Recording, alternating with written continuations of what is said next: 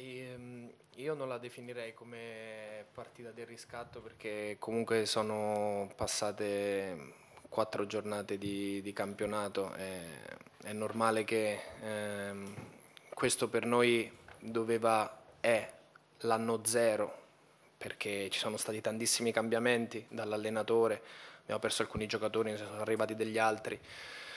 Quindi diciamo che non, non, vedo tutto questo allarmismo, ancora dobbiamo smaltire bene i carichi di lavoro del ritiro, alcuni si stanno integrando bene perché venivano da altri campionati, quindi secondo me ci vuole un attimino di, di, di, di pazienza per vedere il reale potenziale di questa squadra.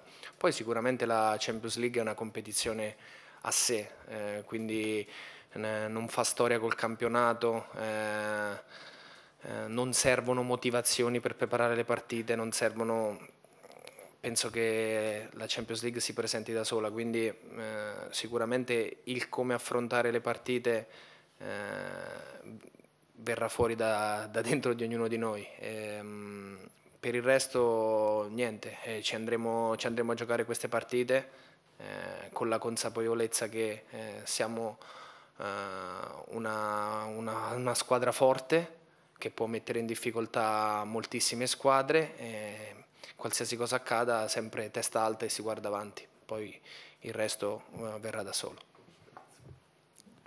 Ah, per rispondere alla tua domanda, io devo semplicemente fare quello che ho fatto in questa stagione, essere me stesso. Io quando vengo chiamato in causa do il massimo, eh, quando entro a Casteldebole do il massimo, cerco di essere d'esempio, cerco di influenzare più, più eh, compagni possibili, per eh, un certo tipo di comportamento e, e, poi fuori dal campo cerco di amalgamare il più possibile il gruppo, ma non perché mi venga detto, ma perché a me fa piacere farlo. Secondo me un giocatore dopo una certa età deve comunque pensare un po' di meno a se stesso e un po' di più a, agli altri, perché, proprio perché ha, ha un'esperienza dentro molto importante, quindi semplicemente essere il Lolo di sempre.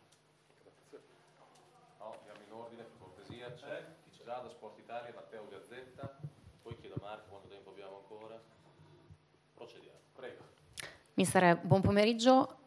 Utilizzando una scala da 1 a 100, al netto di quello che lei chiaramente ha già detto, ovvero che è un percorso appena iniziato, quanto è il Bologna di Vincenzo Italiano? Quanto è il Bologna che lei si era immaginato quando ha accettato questa piazza? Grazie.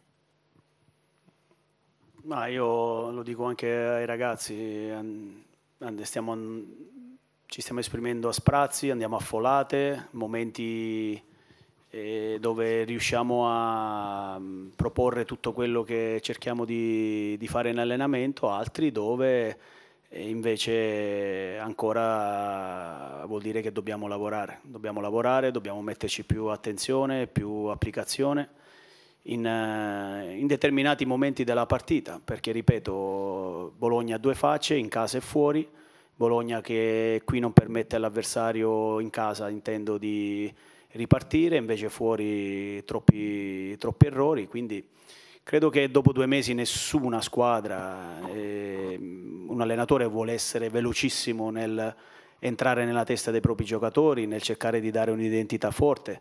Penso che due mesi, due mesi, sono pochi, poi abbiamo avuto tanti giocatori eh, che non hanno fatto il ritiro per Olimpiadi, europei, sono arrivati in ritardo, qualche infortunio di troppo che eh, non ci voleva.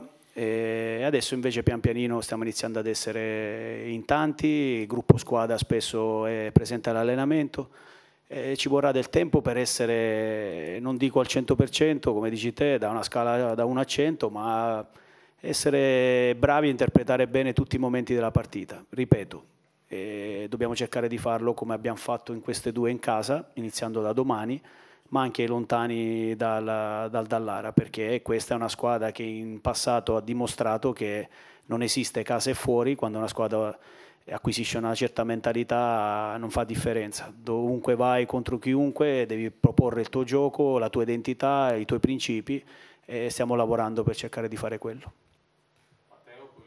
Sì, ciao a tutti. Allora, quello che è successo l'anno scorso è, è, il fatto di vivere quest'anno la Champions League è stata fatta da voi in campo e parlo comunque, eh, eh, coinvolgo anche te Vincenzo, eh, e accompagnati dalla gente fuori. Cioè questa città è completamente impazzita per quello che è successo e per quello che succederà da domani in poi. Allora, qual è la vostra promessa alla gente e qual è la prima cosa che non deve mancare mai? Da domani in poi. E non farete mancare mai. Promesse non se ne fanno, eh, però sicuramente non mancheranno l'atteggiamento, non mancherà il massimo impegno, eh, la voglia di, di, sputare, di, sputare, sangue in mezzo al campo, come si dice, e, e sicuramente quello che è stato fatto l'anno scorso deve essere solo una, una fiamma che possa alimentare di più un fuoco che dobbiamo andare ad accendere quest'anno, eh, perché quello che è stato fatto l'anno scorso è qualcosa di, di straordinario, eh, c'è stata una coesione tra tifoseria, squadra, piazza, eh, tutto, eh, però è, è, già passato. Eh, purtroppo eh, piacerebbe anche a me rivivere quei momenti sopra il pullman scoperto in piazza mentre io e Lollo lanciavamo i cori, però sappiamo che eh, è, passato e dobbiamo già concentrarci per quello che, che avverrà quest'anno perché abbiamo lavorato tanto l'anno scorso per arrivare a questa competizione che c'è quest'anno. Quindi il qui e ora mi sembra la cosa, la cosa migliore da fare e quindi sicuramente in campo non mancheranno queste cose qui. Allora Luca, poi Massimo, poi chiudiamo.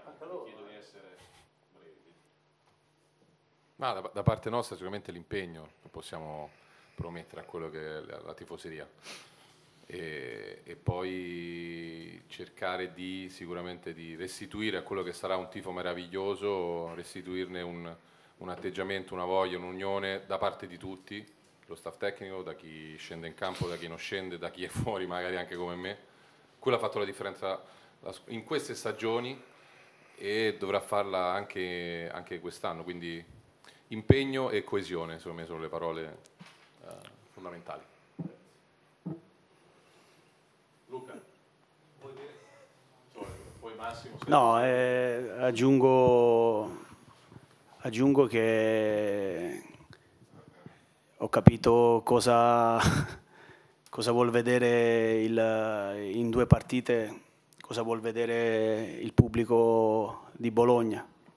Impegno, eh, sudore, sacrificio e siccome la gente è abituata bene vuole vedere giocare bene questa squadra e noi eh, siamo obbligati anche in una competizione così, così, difficile con squadre così ben attrezzate di mostrare tutto questo. Ma ripeto eh, lavoriamo tutti i giorni lavoriamo veramente in maniera eh, con grande abnegazione per cercare di ottenere questi aspetti qua che sono aspetti che deve avere qualsiasi squadra di calcio, però eh, siamo anche obbligati che qui a Bologna dobbiamo cercare di farlo in fretta perché è giusto far vedere e mostrare a questa gente questo, questo tipo di calcio. Per il mister, ciao Vincenzo, eh, lo Shakhtar l'hai studiato, l'hai visto, è una squadra molto giovane, media, media età 23 anni, una delle più giovani della Champions. Tra l'altro loro hanno vinto bene nell'ultimo fine, fine settimana segnando 5 gol. E poi ti chiedo a livello personale, no? com'è la tua vigilia di questa partita, considerando anche da dove sei partito, da dove è partita la tua carriera da allenatore? Come la stai vivendo a livello personale? Grazie. Ah, eh, abbiamo visto sul pullman già tornando da Como e ci siamo proiettati a, a questa partita.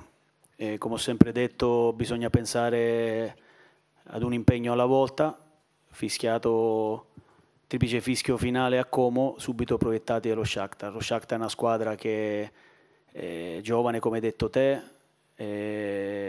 l'ultima partita ha segnato 5 gol, in quella prima 3, cioè è una squadra che ha una pressione offensiva davvero importante, alcuni nazionali di, di valore. Eh, se non eh, gli metti pressione giocano un calcio di palleggio, di qualità, quindi dobbiamo cercare di essere eh, quando non ce l'abbiamo aggressivi, stando attenti perché l'uno contro uno è troppo importante e poi quando ce l'abbiamo dobbiamo mettere in difficoltà. È una squadra che eh, si rintana dentro la metà campo, aspetta il tuo errore, cosa che non dobbiamo eh, commettere e dobbiamo fare. Eh, però secondo me per come l'abbiamo preparata possiamo mettere in difficoltà. Quindi è partita aperta, partita che sta tanto a noi per come si svilupperà e, e, mi auguro che si possa vedere quello che in due allenamenti siamo riusciti a preparare. Ma sono convinto che, che lo faremo. Per quanto riguarda il mio percorso, dico la verità, mi aiuta tantissimo quello che ho vissuto negli ultimi due anni, perché sono stati momenti bellissimi, vivere eh, l'Europa, girare per uh, stadi eh, caldi, mh, mm, squadre che in casa e fuori eh, si trasformano, ambienti che non mollano mai.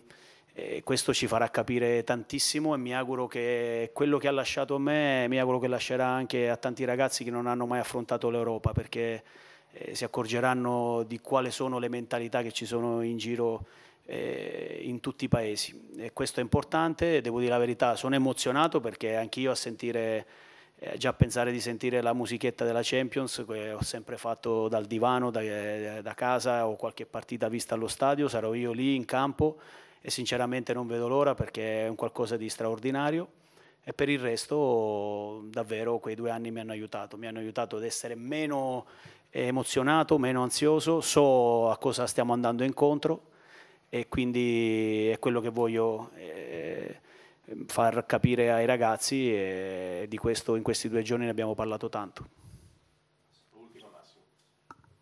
Sì, volevo dire questo. Eh, parlato, avete parlato dello Shakhtar, ti chiedo a, a, a te Vincenzo un pensiero su una squadra che fatta di grandi professionisti, una squadra normale si preoccupa del campo, com'è, dei palloni, di tutto. Qui c'è una squadra che ha dovuto anche abbandonare una partita per un allarme aereo. Ecco, cosa vuol dire? Forse è il bello dello sport mettere sullo stesso piano la realtà anche una squadra che sta giocando in un teatro di guerra. Ecco, questo non mi sembra secondario. No, anche questo aspetto questa mattina abbiamo toccato. Eh, sono, sono, ragazzi, è una società eh, che sta vivendo davvero un qualcosa di, di inspiegabile. Eh, tutti ci auguriamo che questo conflitto termini al più presto e, e ci mettiamo eh, anche nei, nei panni di, di, queste società che sono costrette a girare l'Europa per affrontare una partita di calcio, a non stare vicino ai propri familiari, quindi conosciamo quali sono le difficoltà, su questo abbiamo grande rispetto per i nostri avversari e, ripeto, tutti, tutto il mondo si augura che questo che sta accadendo eh, nel loro paese cessi velocemente perché tutto, tutto il mondo se lo augura. Grazie. Grazie, grazie, arrivederci.